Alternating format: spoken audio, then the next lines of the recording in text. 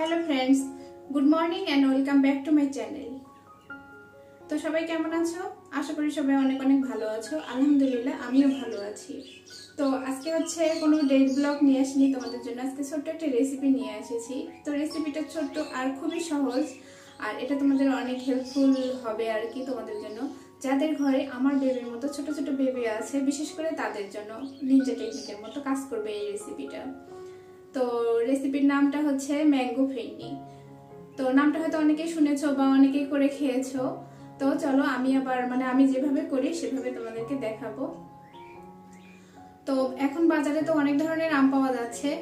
আর আম খেতে খেতে বাচ্চারা কিন্তু অনেক সময় খেতে চায় না। আবার অনেক বেবিরা আছে যারা মানে আম খেতেই চায় না একদম। তো তাদের জন্য এই রেসিপিটা কিন্তু খুবই উপকারে আসবে। তো আমার বেবির ক্ষেত্রেও এটা হয় যে তুই একটা আম খাওয়ার পরে আর আম খেতে চায় না। তো তখন আমি এই রেসিপিটা ওকে করে দিই। মাসাল্লাহ খুব সুন্দরভাবে খায় আর বেশ পছন্দও করে। আর বউ বুঝতেই পারে না যে এটা আমি আম দিয়ে বানিয়েছি। তাই তোমাদের যাদের ঘরে বেবি আছে, তো তারা এটা মানে চেষ্টা করে দেখতে পারো যে বাচ্চাকে খাওয়াতে পারো কিনা। খেলে তো বেশ ভালোই। এটা খেতে এতটাই মজা হয় যে শুধু বাচ্চা নয়, বড়রাও কিন্তু চেটে পুটে খাবে। আর এটা খেতে আমিও বেশ পছন্দ করি। মূল রেসিপিতে যাওয়ার আগে তোমাদের কাছে একটা রিকোয়েস্ট আমার এই ভিডিওটা যদি তোমাদের একটুও ভালো লেগে যায়, তাহলে প্লিজ একটা লাইক করতে একদমই ভুলো না আর চ্যানেলটাকে সাবস্ক্রাইব করে আমার পাশে থেকো। আর যদি খুব ভালো লেগে যায়, তাহলে তোমার ফ্রেন্ডস অ্যান্ড ফ্যামিলির সাথে শেয়ার করে দিও, যাতে তাদেরও কিছুটা উপকার হয়।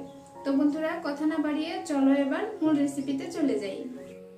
তো এই রেসিপির উপকরণ হিসেবে লাগতেছে আম, চিনি আর হচ্ছে পোলার চাল, যেটা আমি আগে থেকে ধুয়ে একটু পানিতে ভিজিয়ে রেখেছি, আর কিছু ড্রাই ফ্রুট, আর সাথে লাগতেছে দুধ।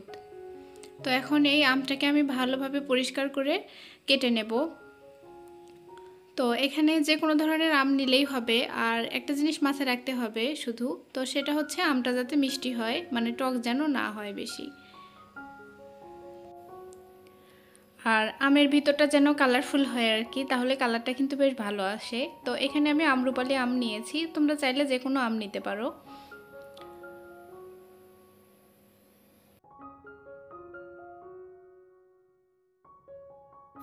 তো এখানে আমি আমগুলোকে কেটে উপরের ছাল আর ভিতরে যে আমের বিচিটা আছে, সেগুলোকে ফেলে দিব। তোমরা চাইলে যে কোনো কিছু দিয়ে আমটাকে কেটে নিতে পারো। তো এখানে আমি বটি আর চাকু দুটোই নিয়েছি, যেটা যে সুবিধা হবে সেটা দিয়ে কেটে নিব।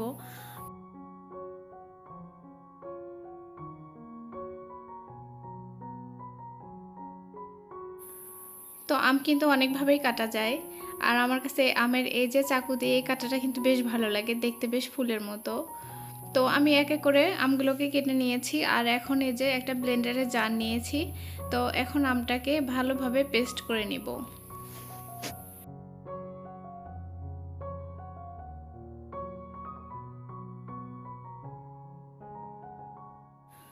তো আমি আমগুলোকে ভালোভাবে পেস্ট করে নিয়ে এসেছি। আর এখন এটাকে একটা সাইডে রেখে দিয়ে আমি মূল রেসিপিতে চলে যাব।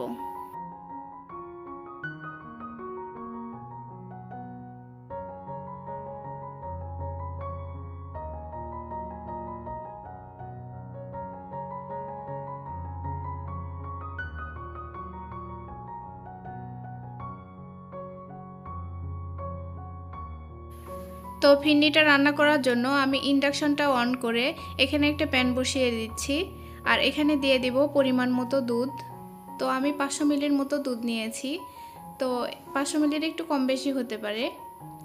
তো তোমরা চাইলে পরিমাণটা কম বেশি করে নিতে পারো। তো দুধটাকে বলক আসা পর্যন্ত অপেক্ষা করব।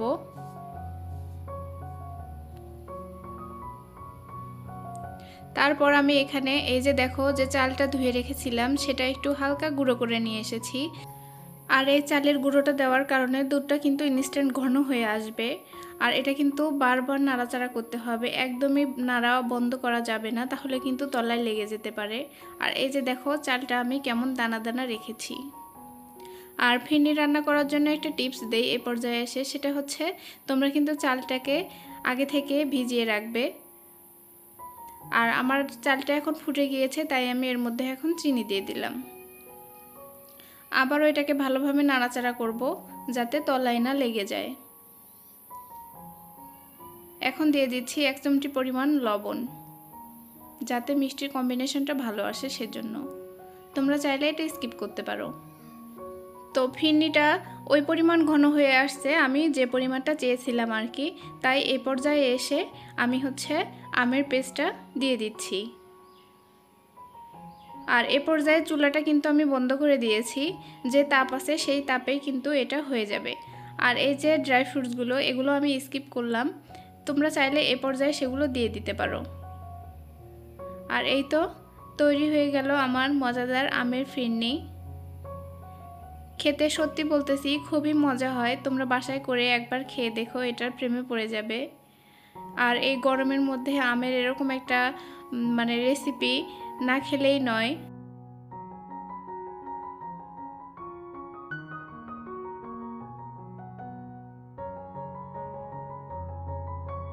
তো এগুলো একটু ঠান্ডা হওয়া পর্যন্ত আমি অপেক্ষা করব। তারপর আমি নর্মাল ফ্রিজে দু ঘণ্টার জন্য এটাকে রেস্টে দিব। তো বন্ধুরা ফিরে আসছি দুই ঘণ্টা পর। তো বন্ধুরা ফিরে আসলাম দুই ঘণ্টা পর। তো আমি এখন এগুলোকে ফ্রিজ থেকে বের করে তোমাদেরকে দেখিয়ে দিচ্ছি যে আমার ফিরনিটা কেমন হয়েছে।